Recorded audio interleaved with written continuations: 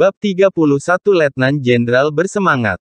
Waktu berlalu, setiap menit, setiap detik seperti siksaan besar bagi Jimmy, terutama karena dia belum mendapat balasan setelah melaporkan berita itu. Nging, nging, nging. Suara mesin berbunyi, helikopternya masih belum mendarat dengan mantap, seorang letnan jenderal melompat dari pesawat dengan penuh semangat. Ketua. Begitu letnan jenderal itu muncul, Jimmy langsung berdiri dan memberikan hormat. Jimmy, jangan kaku seperti itu, di telepon tidak bisa mendengarnya dengan jelas, kamu segera laporkan semua detail situasinya, para penatua akan menunggu keputusan akhir kita. Letnan Jenderal itu langsung berkata, Ya. Jimmy segera melaporkan, sejak dia mulai menerima tugas sampai sekarang, dia melaporkan semua masalahnya secara terpadu. Dia mengerti mengapa Letnan Jenderal bisa ada di sini, setelah hasil keputusannya dibuat, maka para penatua akan menggunakan 90% dari hasil itu dan Letnan Jenderal akan menanggung konsekuensi dari keputusan itu. Sebenarnya pria tua itu datang hanya untuk disalahkan, itu bukan berarti masalahnya sudah beres jika orang tua itu datang, sebaliknya, dia yang hanya seorang letnan kolonel tidak sanggup menahan masalah sebesar itu. Jimmy sudah memperhitungkan, semua rute penerbangan pesawat saat ini ke Kyoto, ini juga berarti, keputusannya harus dibuat sebelum pesawat memasuki Kyoto jika tidak maka akan memiliki konsekuensi yang lebih serius. Ratusan nyawa manusia, dia yang seorang letnan kolonel tidak bisa menanggungnya.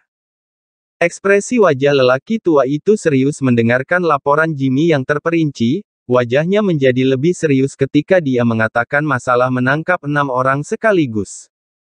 Apakah sudah menginterogasinya? Lelaki tua itu bertanya, mereka tidak mengatakan yang sebenarnya. Ada. Jimmy tersenyum pahit, sama seperti tebakan kita sebelumnya, mereka adalah anak-anak terlantar. Sebenarnya, begitu ketujuh orang itu turun dari pesawat, mereka sudah mulai menginterogasinya, Akibatnya mereka masih belum melakukan sesuatu tapi mereka sudah mengatakan semua yang mereka ketahui, mereka semua tidak punya nyali, berita yang mereka katakan juga tidak ada gunanya sama sekali. Meledakkan istana Penatua, lelucon apa ini? Jangankan pesawat sipil, meskipun bahkan jika itu adalah pesawat tempur paling canggih di dunia juga tidak bisa menembus pertahanan istana Penatua. Istana Penatua Mata lelaki tua itu bersinar, segera laporkan, suruh semua tim penjaga istana penatua lebih waspada dan menyalakan peringatan tertinggi. Baik. Jimmy secara tidak sengaja menyetujuinya, tapi setelah itu dia mengerutkan keningnya, Ketua, apakah ini tidak terlalu berlebihan? Semua orang di dunia tahu bahwa Istana Penatua yang ada di China, Istana Kepresidenan di Amerika juga Istana Buckingham milik John Bull dikenal sebagai tempat teraman di dunia. Jika sebuah negara bahkan tidak bisa melindungi tempat kekuasaan tertinggi maka itu merupakan lelucon besar. Selain itu, jika ada orang yang benar-benar ingin menargetkan Istana Penatua maka mereka harus siap menghadapi balasan gila-gilaan dari China, Ditambah lagi sembilan penatua dari kekuasaan tertinggi China tidak selalu berada di istana penatua, maka ini tidak sebanding dengan kerugiannya. Tidak ada orang yang akan melakukan hal bodoh seperti itu. Kamu tidak percaya, tentu saja orang lain juga tidak percaya. Mata Letnan Jenderal bersinar dengan bijaksana, jika tebakanku tidak salah, orang-orang yang kalian tangkap masih memiliki satu kegunaan. Apa? Membuat sembilan penatua berkumpul. Letnan Jenderal berkata. Sebagai eksekutif senior, dia tentu saja memiliki sumber berita yang tidak terhitung jumlahnya, kesembilan penatua itu biasanya tidak akan berkumpul bersama, jika bukan ada wawancara kenegaraan atau tingkat yang lebih rendah, meskipun ada penatua yang paling penting sedang melakukan pertemuan, juga ada penatua yang mengikuti pertemuan lewat video.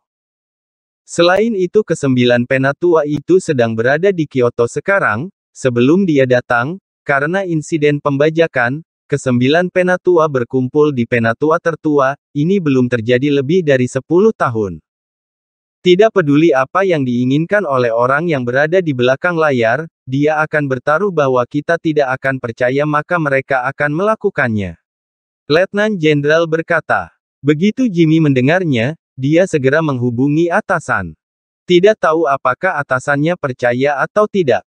Menyerang Istana Penatua, jika berita ini disebarkan di internet maka ini akan menjadi lelucon. Kita harus mempersiapkan diri untuk hal yang terburuk, selain itu, apakah perwira intelijen yang kamu katakan masih ada di pesawat? Letnan Jenderal melanjutkan bertanya. Jimmy tertegun, muncul keraguan di matanya. Apa yang terjadi? Letnan Jenderal bertanya. Jimmy mengerutkan keningnya ketika dia bertanya, Ketua, orang yang memberikan informasi bukan petugas intelijen kita, dia hanya orang yang baik hati. Orang yang baik hati, Letnan Jenderal melihat Jimmy dan tersenyum, Jimmy, apakah kamu pikir aku sudah tua maka gampang dibodohi? Di antara ratusan orang yang baik hati dapat ditemukan tujuh orang yang bermasalah dan mereka tidak ada perbedaannya. Jimmy terdiam, dia tidak tahu bagaimana sikap negara terhadap Novan Ye, istilah tentara bayaran di mata para petinggi sama dengan nama kekacauan. Terlebih lagi Novan Ye adalah tentara bayaran yang terkenal, tidak ada negara yang akan membiarkan orang seperti ini di negaranya, namun, apakah Novan Ye bisa menerima pengawasan negara terhadapannya? Jimmy, ada sesuatu yang tidak bisa kamu sembunyikan meskipun kamu ingin menyembunyikannya. Letnan Jenderal berkata penuh arti, lebih baik terbuka, orang-orang kita sangat terbuka, bukan? Kata-kata ini benar-benar menghancurkan pertahanan dalam hatinya, dia tidak berpikir bahwa orang-orang di atas sangat terbuka, tetapi kalimat sebelumnya, jika mereka ingin menyelidikinya maka identitas Novan Ye pasti tidak bisa disembunyikan. Beberapa tahun yang lalu, dia sangat terkenal, dari mulai dibentuk sampai bubar yang merupakan seorang pemimpin dari tim tentara bayaran Dragon. Lelaki tua itu terkejut. Tim tentara bayaran Dragon, legenda dunia tentara bayaran, dari muncul sampai bubar, hanya beberapa tahun, tapi dalam beberapa tahun itu, Dewa Naga meninggalkan mitos bahwa mereka tidak akan pernah gagal selama mereka menerima tugas, mereka berkali-kali bertarung dengan pasukan top dunia, mereka juga tidak pernah kalah. Pemerintah Amerika pernah secara terbuka merekrut tim tentara bayaran Dragon dan menawarkan harga yang luar biasa, ini adalah harga yang sangat tinggi terhadap tentara bayaran, setiap kali menyelesaikan tugas, mereka juga akan mendapatkan komisi. Meski begitu, Tim tentara bayaran Dragon tidak menanggapinya. Pemimpin tim tentara bayaran Dragon yang sudah dibubarkan bahkan muncul di China. Harus memanfaatkan kesempatan ini. Mata Letnan Jenderal bersinar, pemimpin tim tentara bayaran Dragon adalah orang di dunia yang paling mengerti operasi khusus dan telah banyak memiliki pengalaman perang. Jika militer China mendapatkan pemimpin tim tentara bayaran Dragon itu, mereka tidak hanya mendapatkan dewa perang, ini juga berarti bahwa China akan memiliki pasukan khusus terbaik di dunia. Tapi dia tidak lupa, legenda paling ajaib dari dunia tentara bayaran bukanlah kekuatan tempur yang tidak tertandingi dari pemimpin tim tentara bayaran Dragon, tetapi kemampuan pelatihannya. Para anggota tim tentara bayaran Dragon pada awalnya adalah orang tidak terkenal, di bawah pelatihan pemimpinnya, mereka baru bersinar. Bab 32 Solusi Penyelesaian Jika dibandingkan maka masalah pesawat yang ada di depan mata sepertinya menjadi kurang penting. Jimmy, setelah masalahnya diselesaikan, aku harap kamu bisa mengenalkan kepadaku, aku sudah lama mengagumi pemimpin misterius itu. Letnan Jenderal berkata sambil tersenyum. Jimmy cemberut, dia sangat jelas apa yang ada dalam pikiran lelaki tua itu. Dia tahu dengan jelas kemampuan Novan Ye, kemampuannya sendiri dua pertiganya adalah karena Novan Ye. Ketua, aku tidak berani menjamin masalah ini. Jimmy berkata dengan tertekan, dia sama sekali tidak ada kekuasaan untuk bicara di depan Novan Ye, jika Novan Ye tidak mau maka tidak ada yang bisa memaksanya. Letnan Jenderal tertawa terbahak-bahak, coba saja. Dari ekspresi Letnan Jenderal bisa dipastikan bahwa dia telah mengambil keputusan dan dia bersikeras mau mendapatkan Novan Ye. Hati Jimmy diam-diam meratapi pria tua itu, dia tidak percaya Novan Ye akan menyetujui persyaratan pria tua itu. Laporkan situasi ini juga. Wajah Letnan Jenderal terlihat serius dan berkata, harus membiarkan para penatua memahami apa arti pemimpin misterius itu, manfaatkan waktunya, jangan mengambil keputusan terburuk sebelum menit terakhir. Jimmy benar-benar tercengang. Kamu harus percaya pada kesabaran pemimpin yang paling misterius itu. Letnan Jenderal tersenyum, staf pernah menganalisa pemimpin tim tentara bayaran Dragon itu secara terperinci, yang paling menakjubkan adalah dia bisa keluar dari situasi apa pun, jika dia benar-benar ada di dalam pesawat itu, bisa jadi dia sudah mulai bertindak sekarang.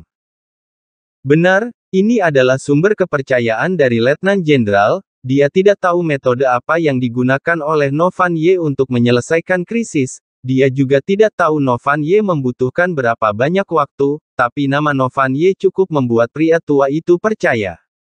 Jimmy tercengang, akhirnya dia mengerti status Novan Ye di dalam negeri, ada sebuah pepatah yang bagus, aku tidak ada di tempat, tapi tempat itu menyebarkan berita tentangku. Namanya sangat terkenal. Ya. Jimmy berjanji dengan keras, hatinya sangat bangga, dia bangga menjadi salah satu anggota tim tentara bayaran Dragon. Pada saat yang sama, di atas pesawat, Kapten yang diperankan oleh teroris di siaran masih berceloteh, Tak terduga, kata-katanya sangat lucu, terdengar suara tertawa di kabin. Novan Ye merasa pusing, hanya ada sedikit informasi yang bisa dikumpulkan. Pada akhirnya, Novan Ye tidak mau berdiam diri, setelah dia berpikir, Novan Ye meletakkan tangannya di kabel itu.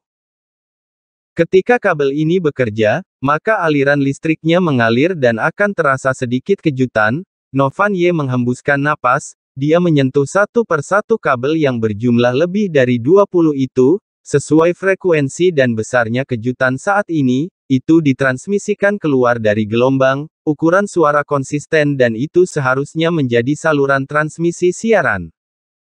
Bahkan setelah transformasi jurus tanpa nama, Novan Ye merasa kemampuan merasanya lebih beberapa kali lipat dari orang biasa, tapi dia merasa masih sangat sulit untuk melakukan ini. Tapi untungnya, dia berhasil. Kabel ketujuh, frekuensi getarannya sama persis dengan suara siaran. Apakah sudah menemukannya? Pintu ruang penyimpanan terbuka, ketika kepala awak kabin melihat kegembiraan di wajah Novan Ye, dia segera bertanya dengan heran. Novan Ye mengangguk, dia menunjuk kabel yang sudah ditemukannya, aku akan minta bantuan kepala awak kabin nanti, setelah menerima instruksiku, tolong langsung putuskan kabelnya. Kepala awak kabin mengangguk, dia mengambil sebuah gunting kecil dari tubuhnya, ini berarti tugas itu sangat mudah. Terima kasih. Meninggalkan ruang penyimpanan, Novan Ye tidak kembali ke tempat duduknya. Biasanya dibutuhkan lebih dari dua jam untuk terbang dari kota Sinabor ke Kyoto, namun sekarang situasinya tidak jelas, waktu yang tersisa untuknya juga tidak banyak. Mau pergi ke ruang bagasi. Setelah mendengar permintaan Novan Ye, para pramugari terkejut.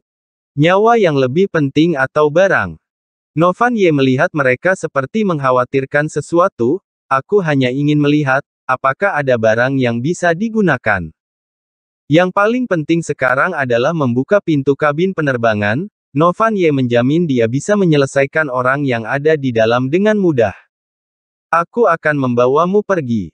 Seorang pramugari berdiri dan membawa Novan Ye ke ruang bagasi, namun hasilnya tidak terduga, tidak ada barang yang bisa digunakan, kebanyakan bagasi yang dibawa adalah pakaian dan buku. Maka mau tidak mau harus melakukan cara itu, Novan Ye tersenyum pahit. Tuan Ye, apakah kamu tidak menemukan barang yang bisa digunakan? Pramugari bertanya dengan penuh penasaran. Novan Ye menggelengkan kepalanya, aku sudah menemukannya. Dia harus tenang dan menunjukkan postur yang dapat segera menyelesaikan masalahnya. Di dalam pesawat hanya ada orang biasa, bukan anggota tim aslinya, dia harus memberikan dukungan terbesar kepada mereka. Baguslah jika seperti itu. Pramugari tersenyum bahagia, meskipun dia tidak menemukan Novan Ye mengambil sesuatu, dia hanya berpikir dia tidak mengerti semua ini, Novan Ye pasti sudah mempersiapkannya secara diam-diam. Para penumpang sekalian, penerbangan kita sudah lebih dari setengah perjalanan, kalian seharusnya berterima kasih kepadaku karena aku sudah membawakan kebahagiaan selama setengah perjalanan ini, sekarang, bukankah kalian seharusnya memberiku sedikit kebahagiaan? Setelah meninggalkan ruang bagasi, Novan Ye mendengar suara dari siaran, ekspresi wajahnya langsung terlihat suram, benar apa yang dia tebak sebelumnya, orang yang menerbangkan pesawat adalah orang sakit jiwa. Semua orang ingin tahu mengapa kapten mengatakan kata seperti itu, tapi mereka segera mengerti. Ada tujuh temanku di dalam pesawat sebelumnya, mereka semua adalah pejuang yang hebat, tapi salah satu di antara kalian mengkhianati mereka, sehingga mereka semua ditangkap. Sekarang aku minta kalian untuk mencari orangnya, lalu aku akan memberikan kalian peluang untuk hidup. Dia benar-benar gila. Bukankah ketujuh orang sebelumnya adalah teroris? Apa sebenarnya yang dilakukan oleh kapten? Orang-orang membahasnya, banyak orang yang melihat ke arah Mary Ye, banyak orang yang melihat Novan Ye berbicara dengan Jimmy, ada orang yang raut wajahnya berubah, ketika pesawatnya lepas landas, terdengar suara tebakan dari siaran pesawat yang sekali lagi muncul dalam pikiran mereka. Untuk membuat semua orang percaya padaku, aku sudah menyiapkan sebuah hadiah kecil untuk semua orang. Suara humor terdengar dari saluran siaran, tidak ada yang merasa lucu lagi. Detik berikutnya, itu seperti roller coaster, badan pesawat tiba-tiba turun dengan tajam dan suara yang memekikkan telinga, suara jeritan dan terdengar suara tabrakan yang keras. Bahkan Novan Ye yang bersiap memberitahu kepala awak kabin untuk memotong kabelnya harus memegang sesuatu yang ada di sampingnya dan memegang pramugari yang hampir terbang jauh di lengannya. Bro, ada seseorang yang datang menabraknya. F asteris asteris asteris. Novan Ye mengumpat, kedua tangannya benar-benar sibuk, sebelum dia bereaksi, orang itu langsung menabrak dadanya, kedua tangannya langsung menarik sesuatu, dia mengaitkannya di leher Novan Ye dan bahunya, kukunya yang tajam menancap di ototnya dan membuat Novan Ye kesakitan sambil mengerutkan wajahnya. Sekitar 10 menit kemudian, pesawat kembali terbang dengan lancar. Apakah para penumpang sudah mempercayaiku sekarang? Di atas pesawat ada 10 kit penyelamat, sekarang kalian harus tampil untukku, orang yang penampilannya bagus akan mendapatkan kit penyelamat. Bab 33 Perayapan paling sulit. Singkatnya, semua penumpang menjadi tercengang. Tolong dengarkan aturan pertunjukan dengan cermat, ingat, ini adalah satu-satunya peluang bagi kalian untuk bisa tetap hidup. Suara iblis di dalam siaran terus berlangsung, Raut wajah Novan Ye langsung berubah, dia melepaskan pramugarinya, kemudian dia mendorong orang yang menabraknya. Mengapa itu kamu? Veronica yang kaget melihat orang yang menyelamatkan hidupnya dan dia langsung membeku. Ternyata kamu ya nenek sihir, tidak ada hal yang baik, setiap kali bertemu denganmu. Pada saat yang sama Novan Ye melihat wajah Veronica, hatinya merasa agak kaget, jika bukan karena kepribadian yang pedas, Veronica yang ada di depannya ini dapat dianggap sebagai wanita cantik. Dia tidak mempedulikan Veronica yang galak itu, Novan Ye langsung menuju ruang penyimpanan kecil. Wajah Veronica yang ada di belakang Novan Ye lebih buruk lagi, sebelumnya dia sudah disemprot sekali oleh Novan Ye, tanpa diduga dalam waktu yang singkat dia disemprot sekali lagi olehnya. Dia adalah seorang artis internasional terkenal, dia diidolakan banyak pria, mengapa ketika bertemu dengannya, dia bisa disemprot berulang kali. Kemudian Veronica mengesampingkan Novan Ye, isi dari siaran sebelumnya menjelaskan bahwa sesuatu yang besar sedang terjadi di pesawat. Mohon Anda segera kembali ke tempat duduk dan kencangkan sabuk pengaman Anda. Wajah pramugari berkata kepada Veronica dengan tatapan tidak ramah, dia melihat dengan jelas, di dalam kuku Veronica masih ada jejak darah Novan Ye. Mengerti. Veronica saat ini sudah menyadari bahwa sesuatu yang besar terjadi, mana mungkin dia akan bersikap seperti artis terkenal internasional lagi, dia berlari ke kursinya sesuai instruksi pramugari. Pada saat yang sama, Novan Ye sudah tiba di ruang penyimpanan, dia melihat kepala awak kabin yang sedang pingsan di antara barang-barang, tangannya masih tetap menggenggam gunting itu. Klik. Novan meraih kabelnya dan langsung memotongnya, suara dalam siaran itu tiba-tiba berhenti.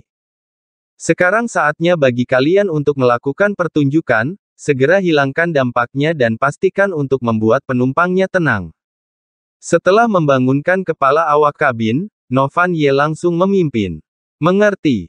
Kepala awak kabin masih merasa pusing, tapi dia tahu bahwa masalah itu sangat penting, dia memaksakan diri untuk berdiri, aku akan segera mengatur tugas, kami pernah melakukan latihan darurat seperti ini. Baguslah jika seperti itu. Mereka berdua meninggalkan ruang penyimpanan, kepala awak kabin langsung pergi mencari pramugari, Novan Ye menuju ke arah tempat duduknya dan dia langsung melihat wajah Mary Ye yang pucat. Kakak. Ketika melihat Novan Ye, air mata Mary Ye langsung mengalir, hatinya merasa takut. Novan Ye kembali ke tempat duduk sambil menepuk kepala Mary Ye dan memberinya sebuah senyuman menenangkan, Mary Ye menangis di dalam pelukannya, apa yang terjadi sebelumnya terlalu menakutkan baginya, pada saat itu, dia benar-benar berpikir bahwa dia akan mati. Setelah beberapa menit, Mary Ye masih belum tenang, pramugari mulai beraksi, wajah cantik mereka masih ada bekas luka sebelumnya tapi mereka semua mencoba menyebarkan kekuatan dengan senyuman. Benar, itu adalah kekuatan. Meskipun Novan Ye sudah terbiasa menghadapi hidup dan mati, dia merasa harus memberikan mereka acungan jempol pada penampilan mereka sekarang, orang yang belum mengalaminya sendiri, tidak pernah tahu seberapa besar kekuatan yang disebarkan lewat sebuah senyuman saat ini. Suasana hati para penumpang segera menjadi tenang, bukan kembali pada suasana hati sebelumnya tapi setidaknya tidak ada kemungkinan terjadi kekacauan. Apakah kamu percaya dengan kakak? Novan Ye melihat ke arah Mary Ye, Novan Ye meneruskan tanpa menunggu Mary Ye menjawabnya, kamu harus belajar untuk sekuat kakak-kakak itu, tidak peduli apa yang terjadi nanti, kamu harus percaya bahwa kakak akan membawamu pergi dengan selamat. Mata Mary Ye terlihat ragu tapi dia tetap mengangguk dengan patuh. Melihat bagian belakang Novan Ye yang pergi, wajah Mary Ye terlihat tegar, dia sedikit mengerti tentang apa yang akan dilakukan oleh Novan Ye, yang bisa dia lakukan sekarang adalah tetap duduk di kursinya dengan patuh dan tidak menambah kekacauan bagi Novan Ye. Di ruang istirahat pramugari. Ini tidak mungkin. Kepala awak kabin tiba-tiba berdiri, Tuan Ye, Anda sama sekali tidak mungkin bisa mencapai bagian kepala pesawat, meskipun bisa, kaca kabin penerbangan sekeras baja dan tidak akan dapat dipecahkan, lebih baik kita membuka kabin penerbangan. Bagi kepala awak kabin, kata-kata Novan Ye hanya hayalan saja. Keluar dari pesawat melalui pintu kabin penerbangan lalu merangkak ke kepala pesawat, membuka kaca kabin penerbangan dan menundukkan penjahatnya, yang bisa diandalkan hanya bagian terakhir. Tidak mungkin bagi kalian. Novan Ye berkata dengan datar, dia bukan membenci bantahan kepala awak kabin, bagi orang biasa kata-katanya benar-benar sebuah lelucon. Bagi diriku itu sangat mudah. Novan Ye berkata, dia langsung menonjok dinding logam dan terlihat bayangan tinju yang jelas di dinding, tinju Novan Ye bahkan tidak terluka sama sekali. Kung Fu Master, kepala awak kabin berkata. Novan Ye tersenyum datar, aku bukan Kung Fu Master, tapi aku sering melakukan latihan ketat, aku tahu 90% struktur pesawat, Tenanglah, bagiku ini tidak sulit. Kepala awak kabin masih merasa ragu tapi setelah Novan Ye meninggalkan bekas tinju di dinding baja, maka dia tidak bisa melihatnya dengan mata biasa. Aku bisa membuka pintu palka. Akhirnya kepala awak kabin setuju. Itu.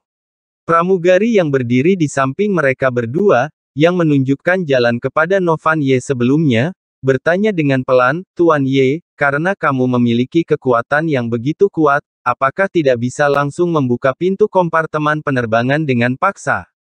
Novan Ye bisa meninggalkan bekas tinjunya dengan jelas di pelat baja, seharusnya tidak sulit untuk membuka pintu kabin penerbangan.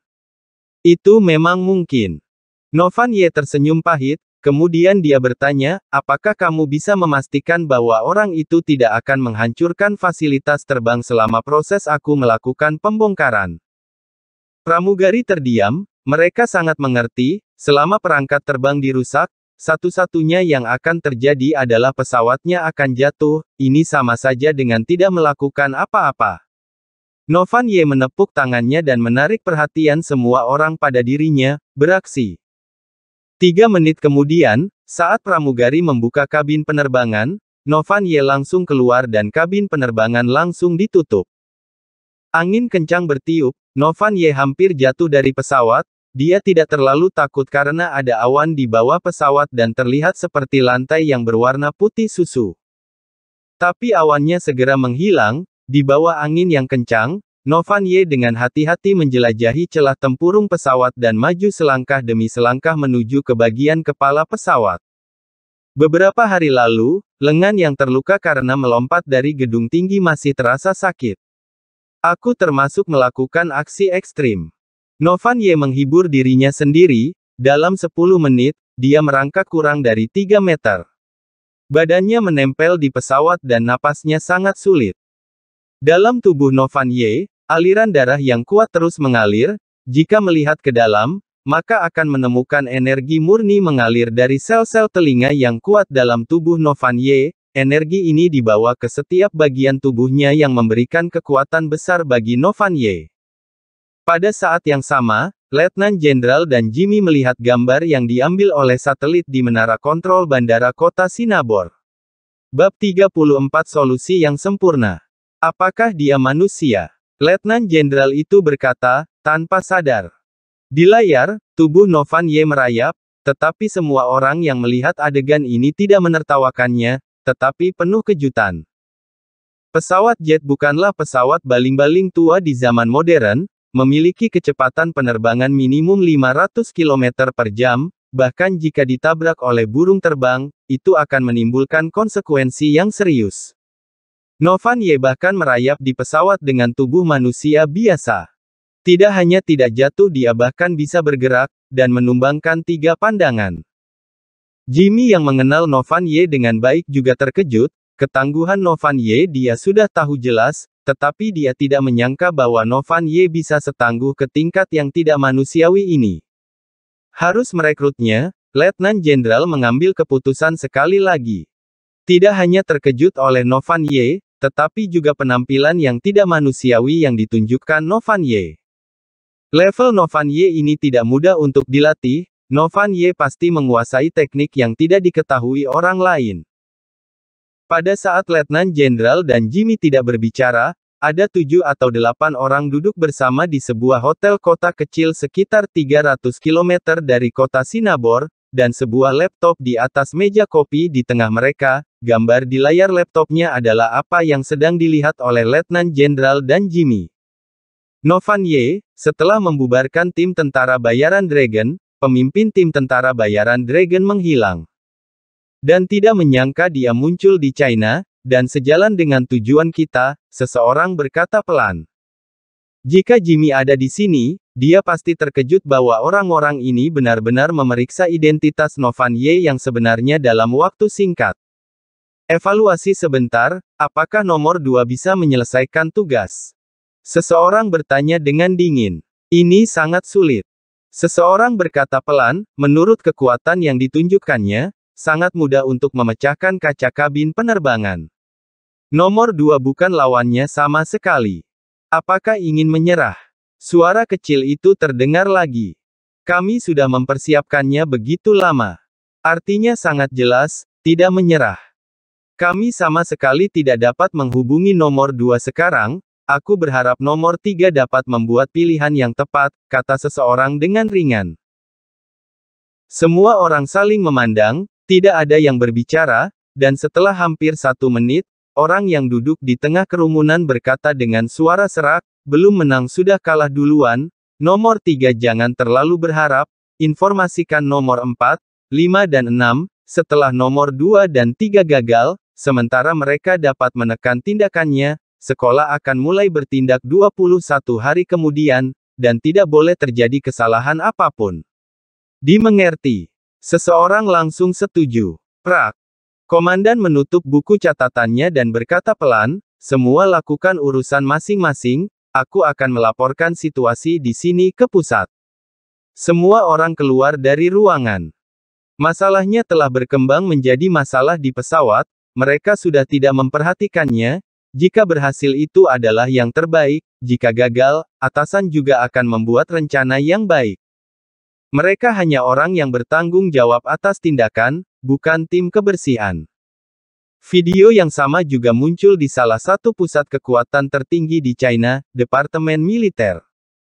Di ruang pertemuan, di layar sebesar dinding, bisa dengan jelas melihat kilasan tidak nyaman di wajah Novan Ye dan otot lengan yang menonjol dan nebula berkumpul di depan layar. Semuanya, menurut pengamatan kami, Kekuatan fisiknya setidaknya 7 atau 8 kali lebih kuat daripada orang biasa, menilai dari kecepatan reaksinya ketika dia keluar dari pintu kabin, dia telah melampaui binatang tercepat di dunia. Seorang pria berjas laboratorium putih, dan mengenakan seragam militer dan menggantung pangkat seorang kolonel, tidak malu-malu menghadapi para jenderal, dan berbicara dengan tenang, menurut spekulasi kami, selama tidak terjadi masalah apa pun, insiden pembajakan ini bisa diselesaikan dengan sempurna. Pria itu tidak perlu mengingatkan lagi, semua orang di ruangan sudah mengerti. Tapi yang mereka pedulikan adalah apa yang ditunjukkan oleh Novan Ye. Kekuatan fisiknya telah melampaui batas-batas tubuh manusia, aku berharap bahwa para pemimpin akan memberiku otoritas tertentu, aku memiliki keyakinan untuk mendapatkan rahasia penguatan tubuh darinya. Mata pria itu terlihat tajam. Sebagai yang termuda dan yang paling berprestasi di bidang penguatan tubuh manusia di China, ambisinya bukan hanya sebatas tubuh manusia dalam film-film fiksi ilmiah, tetapi fakta-fakta selalu membatasi pemikirannya, kemunculan Novan Ye tampaknya telah memberinya jalan menuju masa depan yang cemerlang, dia tidak akan pernah melepaskannya. Permintaan pria itu tidak langsung disetujui, Malahan dia diminta dengan sopan untuk meninggalkan ruang pertemuan. Semuanya, mari kita negosiasi. Seorang pria tua dengan pangkat jenderal mengetuk meja, terlihat penuh kebijaksanaan. Selama tidak bodoh, pasti bisa melihat nilai dari Novan Ye. Para jenderal segera berbicara dengan bebas. Kembali ke pesawat, setelah lebih dari setengah jam bergerak, Novan Ye akhirnya mencapai kepala pesawat. Melalui kaca penerbangan, dapat melihat ada seorang pria pingsan dalam posisi kopilot, jas putihnya berlumuran darah. Di sampingnya, ada seorang pria yang sangat bahagia dan tidak berhenti berbicara, jelas pria ini adalah kapten sakit jiwa dalam berita. Peng! Novan Ye menggunakan seluruh kekuatannya untuk memecahkan kaca pesawat, dan kacanya pecah. Tinju Novan Ye menembus langsung ke kaca, dan mulai retak. Mulut kapten sakit jiwa terbuka lebar karena terkejut, dia masih tertegun, Novan Ye telah membongkar seluruh kaca dan masuk ke dalam kabin penerbangan. Hal berikutnya sangat mudah bagi Novan Ye, langsung memukul kapten sakit jiwa itu sampai pingsan dan mengikatnya. Tapi detik berikutnya, pilot sakit jiwa itu mengeluarkan darah berwarna hitam, dan matanya yang gila secara perlahan kehilangan vitalitasnya. Novan Ye hanya sedikit terkejut, para buronan ini sudah tidak memikirkan hidup dan matinya.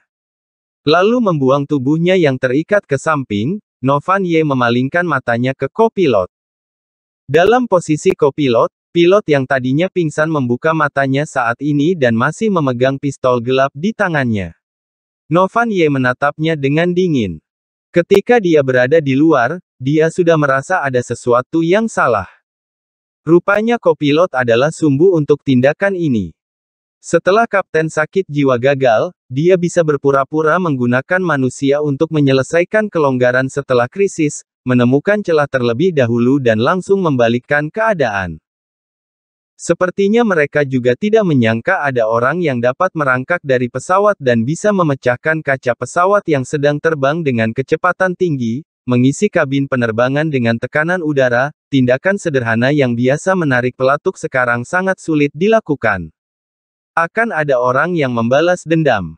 Pilot itu dengan sulit mengatakan kalimat yang keras, dan dia juga mengeluarkan darah hitam dari mulutnya.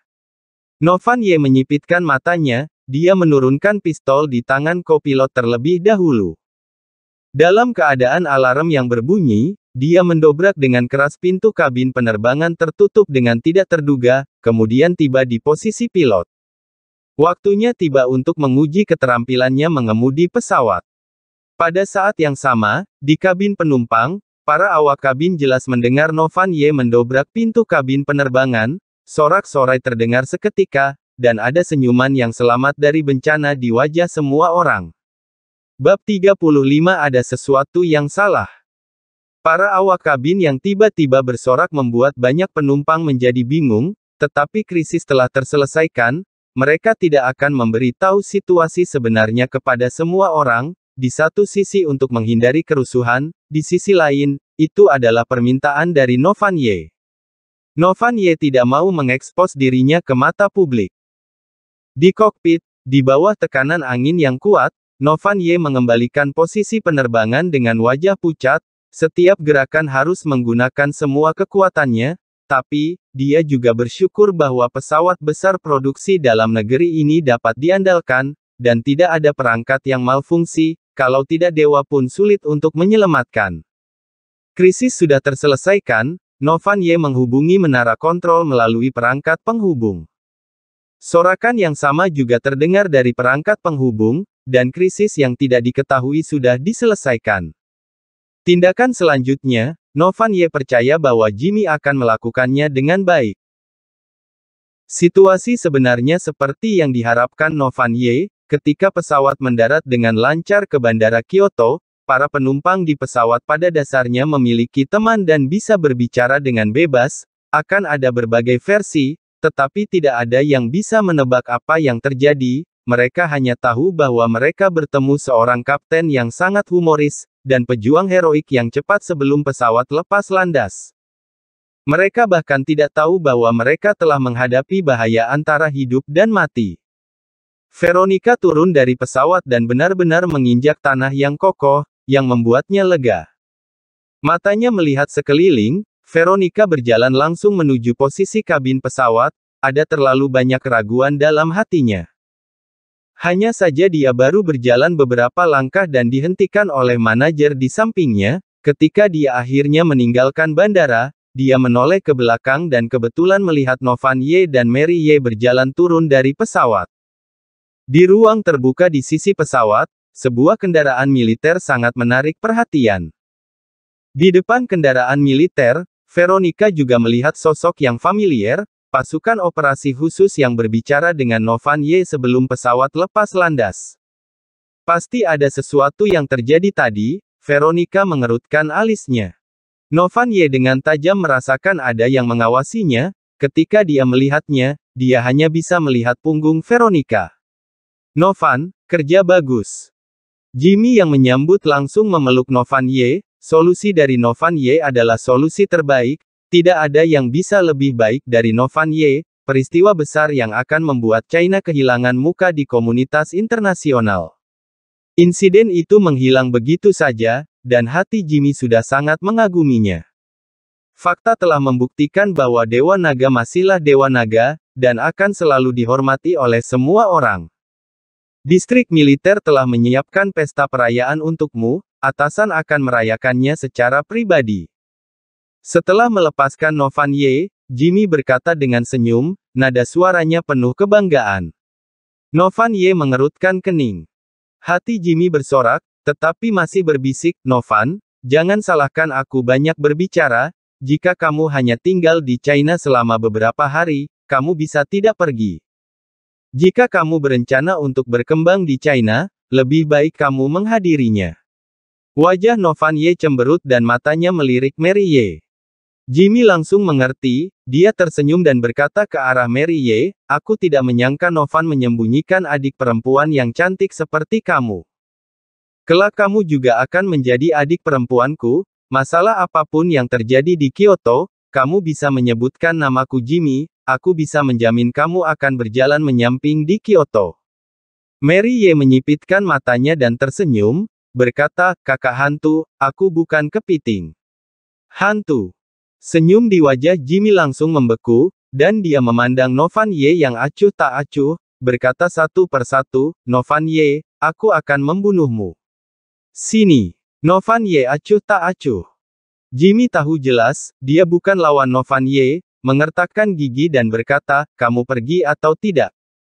Pergi, kenapa tidak pergi? Novan Ye mengangguk dan menyetujuinya. Jika hanya dia seorang, tentu saja tidak perlu bertemu dengan jenderal, dia tidak mau terikat dengan orang, dunia begitu besar, setelah menyelesaikan apa yang ingin dia lakukan, dia bisa ke mana saja. Tapi, sekarang ada Mary Ye di sampingnya. Kamu bisa mengukur kemampuanmu sendiri. Jimmy berkata dengan kejam kepada Novan Ye, lalu tersenyum pada Mary Ye, adik, mari kita pergi, kamu belum pernah naik kendaraan militer kan, kamu harus merasakan kebanggaan pasukan kami.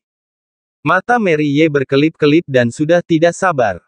Apa bagusnya? Novan Ye berkata dengan santai, tidak nyaman sama sekali, kasar, keras, semua sekelompok pria kasar, tidak menarik sama sekali. Jimmy yang naik ke mobil mendengar perkataannya dan memandang tanpa ekspresi pada Novan Ye, ada kelicikan muncul pada matanya, lalu menatap Mary Ye yang bersorak, dia sepertinya mengerti sesuatu. Tidak ada orang yang sempurna, jika manusia maka pasti memiliki kelemahannya. Jimmy merasa bahwa dia telah memegang kelemahan Novan Ye. Militer sangat mementingkan Novan Ye dan jamuannya ada di Wisma Tamu Negara. Laksamana Jenderal, disertai lima Letnan Jenderal, seluruh proses Jimmy, pemimpin pasukan khusus pangkat Letnan Kolonel, hanya bisa menuangkan anggur, bahkan tidak memenuhi syarat untuk campur tangan. Yang mengejutkan Novan Ye bahwa seluruh perjamuan tampaknya sepenuhnya untuk berterima kasih pada dirinya, dan tidak ada yang mengajukan persyaratan tambahan, misalnya memintanya untuk bergabung dengan militer, atau mendedikasikan keterampilan kultivasinya. Dua jam kemudian, membawa Mary Ye dengan wajah memerah dan sempoyongan keluar dari Wisma Tamu Negara, Novan Ye memikirkan sesuatu yang menarik di hatinya. Jimmy dan Novan Ye langsung pulang ke rumahnya di Kyoto. Setelah mandi, Mary Ye yang mengalami kepedihan karena meninggalkan rumah, sensasi mendebarkan di pesawat, dan terkejut di Wisma Tamu Negara sudah kelelahan tertidur. Baginya pengalaman hari ini bisa diingatnya selama setahun. Di ruang tamu, Novan Ye dan Jimmy duduk berhadap-hadapan. Masalah pembajakan belum berakhir. Jimmy sangat serius. Kamu harus menyiapkan diri, balas dendam dari organisasi Serigala Putih tidak pernah berhenti. Kamu membuat keputusan apa pun, sebagai saudara, aku akan mendukungnya, tetapi kamu harus memikirkan Mary. Memangnya kamu bisa memanggilnya Mary? Novan Ye mendengus. Jimmy tersenyum pahit, ya, kalau begitu aku panggil Mary Ye, banyak orang ingin menjadi adik perempuanku dan aku bahkan tidak memberi mereka kesempatan. Kalau begitu, kamu terima semua adik perempuan itu. Novan Ye menjawab, lalu berkata dengan serius, kalian yang harus berhati-hati bukan aku. Lalu Novan Ye juga mengatakan masalah kopilot teroris itu, dan Jimmy berkeringat dingin. Jika bukan Novan Ye digantikan oleh orang lain, dan ditambah kopilot sebagai kunci pengaman terakhir, takutnya mereka akan berhasil. Dari umpan hingga kesulitan yang tiba-tiba, ditambah kunci pengaman terakhir, organisasi di belakang sangat ketat, dan caranya sangat teliti, dapat dikatakan mereka adalah master di antara para master. Aku tidak setuju dengan apa yang kamu katakan bahwa mereka adalah orang-orang dari organisasi Serigala Putih, tetapi cara mereka untuk melakukan sesuatu sangat ganas dan kejam, sebelum mencapai tujuan, mereka pasti akan mengambil tindakan, Novan Ye mengingatkan.